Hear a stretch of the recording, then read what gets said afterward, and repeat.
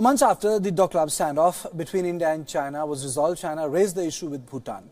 On his three-day visit to Thimphu, Chinese Foreign Minister Kong Xuanyou discussed the boundary issue with the leaders of the Himalayan nation. China's Foreign Ministry spokesperson Geng Shuang said, and I quote, the two sides exchanged views on China, Bhutan ties and boundary issues and reached many agreements.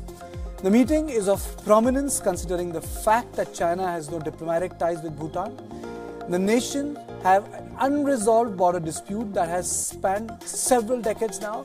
The Doklam Plateau is part of the disputed border where the boundaries of India, China and Bhutan meet. China has offered 269 square kilometer of area in the western sector to Bhutan in lieu of 100 square kilometer of Doklam. Bhutan refuses to accept this. India and China were locked in an over two-month-long military standoff near the boundary in Doklam Plateau. The standoff began in June when the Indian troops stalled a road building by the Chinese army in the area. The Indian army cited the disputed status of the region and its close proximity to India's artery in the northeast.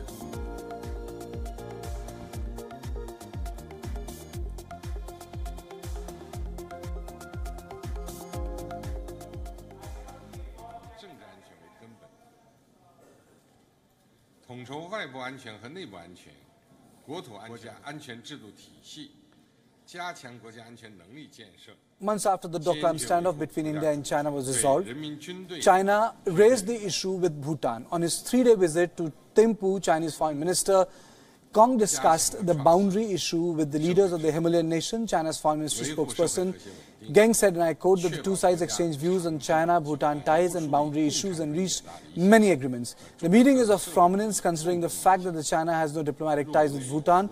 The nations have an unresolved border dispute that has spawned several decades now. The importance is that the China still continue to desire Doklam, whereas Bhutan has said strictly no. And in fact, such was an offer that in lieu of 100 square kilometer, China was willing to part 269 square kilometer of area in the other sector to Bhutan. Bhutan has said no.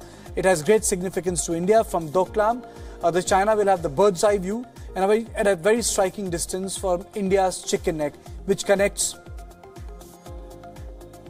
West Bengal to the northeastern sector. It's a small corridor and it's of vital importance to India.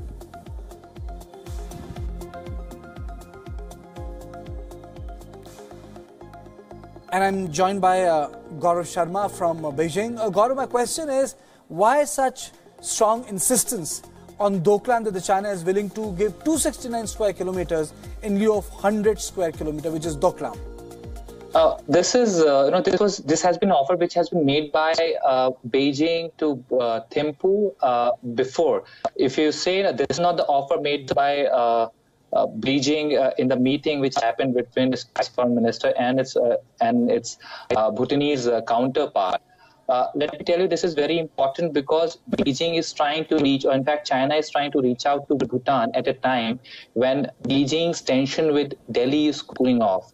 So it's very, very important. Now China is secretly going to Thimphu, reaching out to Thimphu and trying to uh, score, uh, trying to settle its boundary dispute. And you know, Doklam is of very, very strategic importance to all the three countries. You know, it is at a it, it is at the tri-junction of uh, India, China, and Bhutan border, and that's so very important because it's very close to India, India's arterial uh, Siliguri corridor, which is uh, which connects uh, India's northeast with the rest of the country. So it's very very important, and that was the reason of this. That was the reason of standoff when uh, Indian troops objected to Chinese road building in that area. And if you see, uh, when uh, when the question was asked to Geng Shuang, what was discussed, he actually said that boundary issue was discussed between Bhutan and China. So if the boundary issue was discussed, it means that Doklam has certainly uh, figured uh, in the talks. And there's a, there's another statement uh, by Chinese Foreign Ministry says, which is that China respects Bhutan's territorial integrity.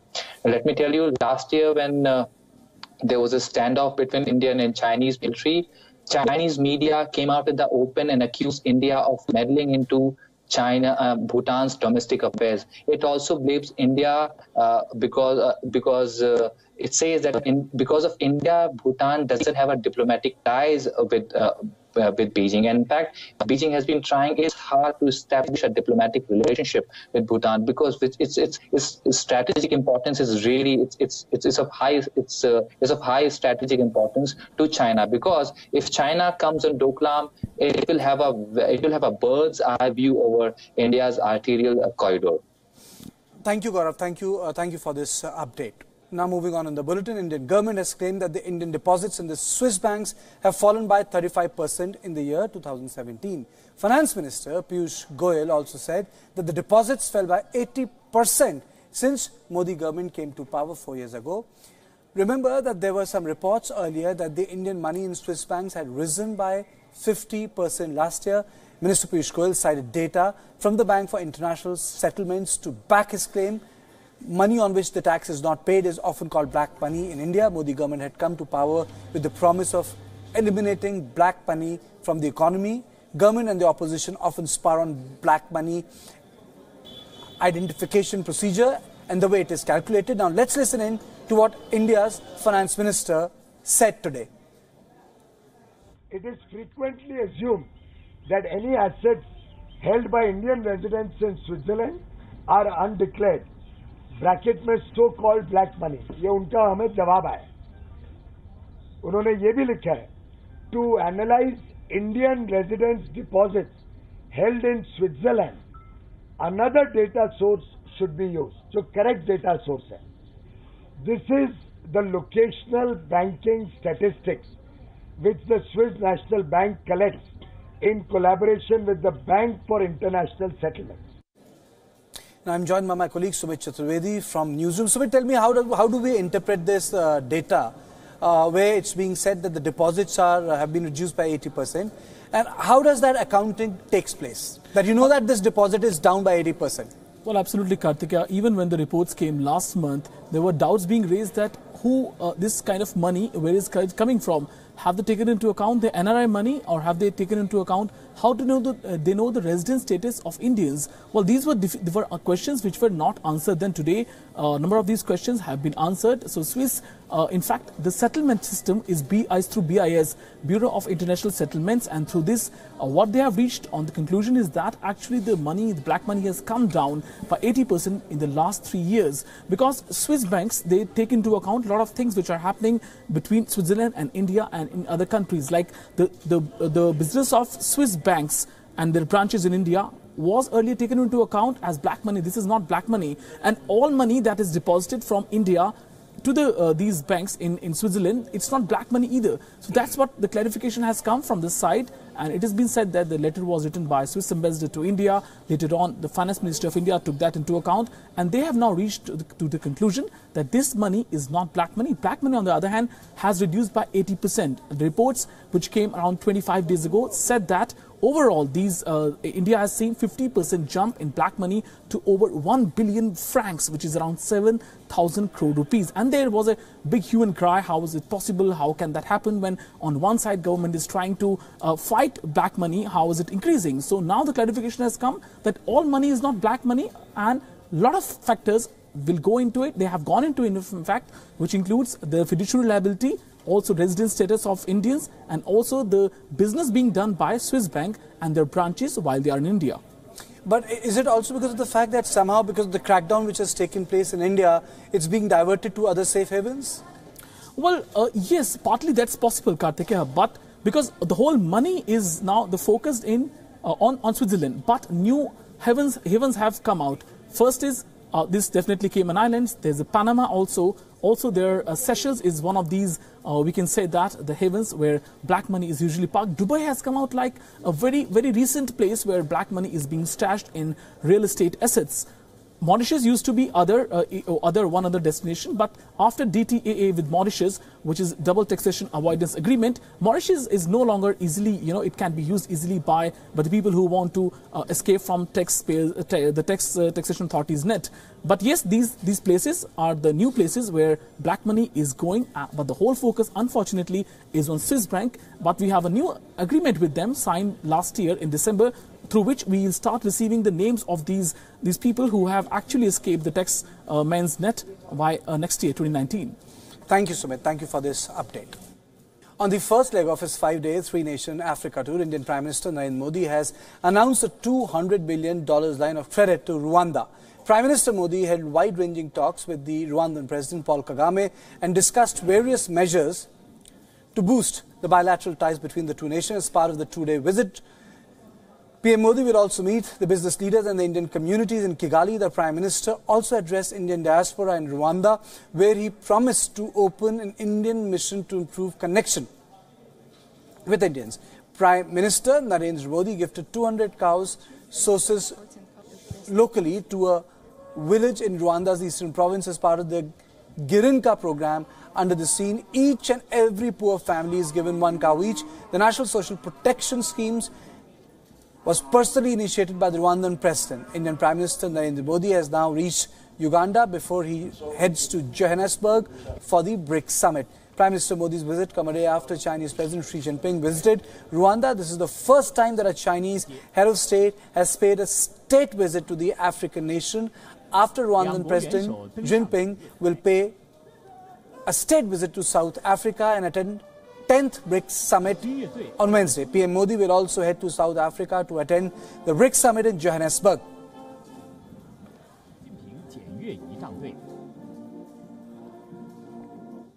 And I'm joined by Michael Balake, the correspondent from uh, Kampala, Uganda.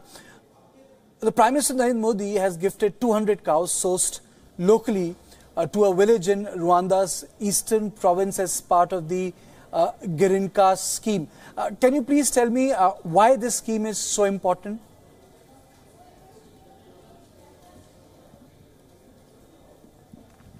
Hello there. Um, well, Prime Minister Modi's, I'll give you, uh, I'll start with a few details that Prime Minister Modi has actually arrived in Uganda now, just a few uh, minutes ago.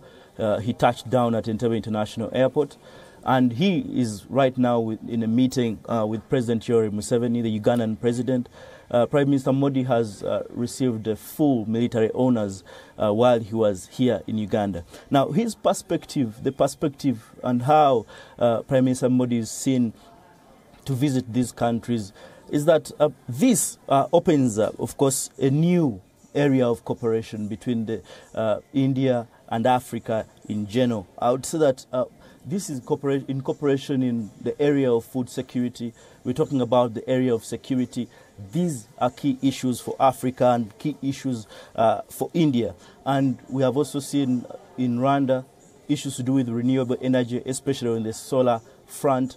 Uh, so Prime Minister Modi has signed actually some uh, cooperation agreements while he was there with them. In Uganda, of course, is expected uh, to also sign um, some lines of credit and extend lines of credit in the area of agriculture and in the area of energy. These, mm-hmm. in a way, uh, in a way to put and uh, increase India's influence in Africa. Uh, China is also seems to be a contender, uh, and China has a very strong uh, presence in Africa. So when we talk about Prime Minister Modi's visit uh, to Africa and it's a three-nation tour, what's the perspective we need to keep in terms of broader interaction of India with Uganda?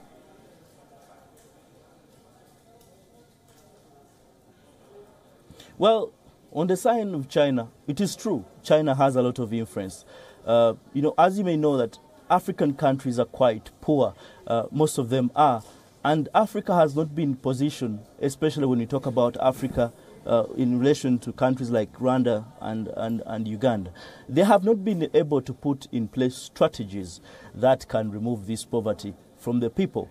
And uh, what happens is that China has the money. It has, it's a superpower. It's seen as a superpower and has all the money that uh, Africa needs. Countries, African countries, especially in sub-Saharan Africa, need to get out of this poverty. And that is the notion that when you use money, you get out of poverty. And China's influence has been key, especially in terms of uh, if it means grants or loans. A lot of money has been borrowed. On the other side, India has instead uh, been investing in, in industry and uh, employing uh, lots, lots of Ugandans are employed in Indian industries uh, in Uganda here. But on the other side, of course, uh, while China has a lot of influence, uh, it puts the level of how uh, African countries going to be able to pay this debt from China. China has a lot of has given us a lot of money, but there have been issues to do with governance, and that is quite uh, an issue uh, going on right now. Thank you so much. Uh, thank you so much for joining me. So, the Indian Prime Minister is on a three nation tour visit to Africa. And this also includes a meeting he may have uh, with the Chinese counterpart in Johannesburg, which is South Africa. We're just asked to go before it goes to polls. Pakistan's is all geared up the deployment of the forces is now complete with over 370,000 security personnel stationed across length and breadth of the nation. The stationing of troops come amid a recent decision by the election authorities to grant military officers broad powers inside polling booths. The decision has stoked fear of possible manipulations ahead of the electoral context. The short but shrill campaigning ended yesterday with a major leader holding their final rallies. The ruling Pakistan Muslim League Nawaz has suffered a major setback with the conviction of its major leaders Nawaz Sharif and his daughter Maryam Nawaz. In the absence of the two Sharif's brother Shahbaz Sharif has become the face of the party. The contest is largely being viewed as a two-party fight between the Pakistan Muslim League Nawaz Party and the cricketing legend Imran Khan's Pakistan's Tehreek-e-Insaf. The PTI leader is hoping to secure a victory enjoys a tacit support of the army.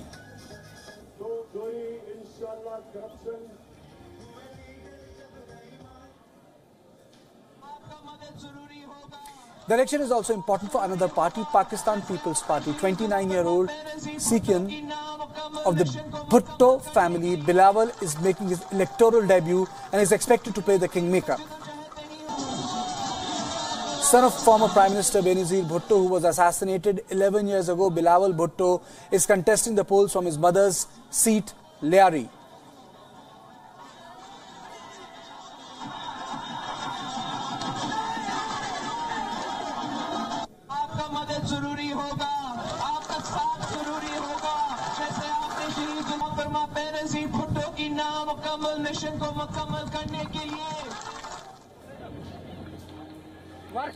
The country has witnessed massive violence in the run-up to these elections. A string of suicide bomb attack at the political rallies killed nearly 160 people in less than a week, including a candidate from Imran Khan's party on Sunday. A total of 849 directly elected seats are up for the grabs in the elections, and over 12,500 candidates, including a number of hardline clerics, are contesting in the election to the parliament, and four provincial assemblies included.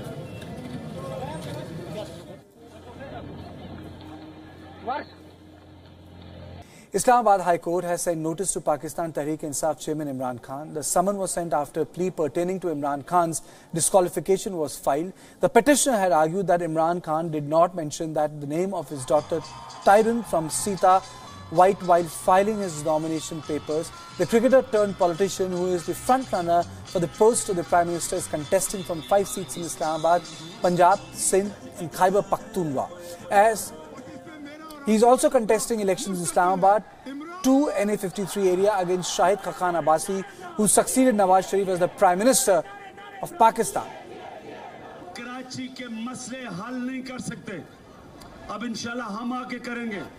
In a tragic incident, 60 people have died and more than 104 others have been injured after forest fires raged in near the capital Athens, making deadliest blaze to hit the country in a decade. The fire in the Mati village was by far the country's worst since blazes devastated the southern Peloponnese Peninsula in August 2007, killing dozens. The fire was one of the several that broke out in the country amid sweltering heat wave. Greece has issued an urgent appeal for people to ensure that they save themselves and don't get stuck to the property. It has appealed to tackle fires which has raged uncontrolled in several places across the country, destroying homes and disrupting major transport links.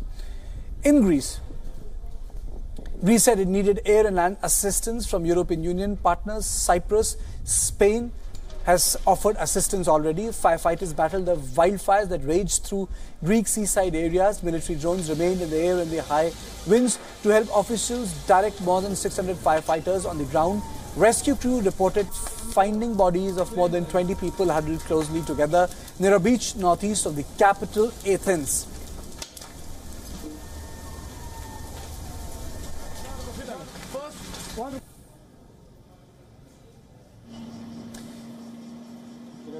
Prime Minister Alexis Tsipras cut short a visit to Bosnia and returned to Athens to preside an emergency response meeting with fire chiefs and government officials.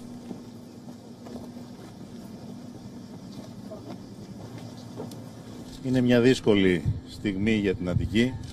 Είναι μια δύσκολη νύχτα για την Ελλάδα. Αυτή τη στιγμή πάνω από 600 άνδρες και γυναίκες της πυροσβεστικής επιχειρούν. Πάνω από 300 οχήματα επιχειρούν σε τρία μεγάλα μέτωπα. Hot weather conditions continue in Japan. Temperature in Japan have hit a record high. The officials issuing a fresh warning to stay safe. At least 65 people have died within one week.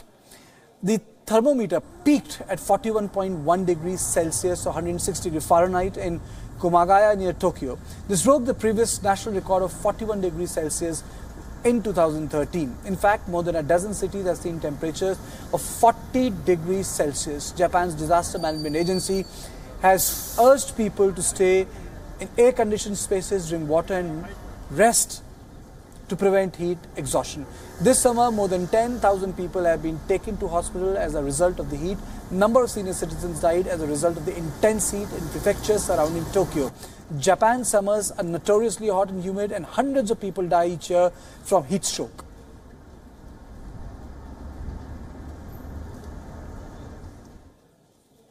Today marks the hottest day of the year in the United Kingdom. Temperature as high as 33.3 degrees Celsius was recorded in Santon, Downham in Suffolk. A three-day health watch alert still remains in place for much of the east and southeast of London. And England, warnings have been issued urging the public to avoid sun and stay indoors between 11 and 3 pm while the heat is strongest. The National Farmers Union has warned of crop parched to bone and livestock farmers using winter rations. Lack of rain has made weather conditions worse. Several places have had 54 consecutive dry days, worsening the heat conditions.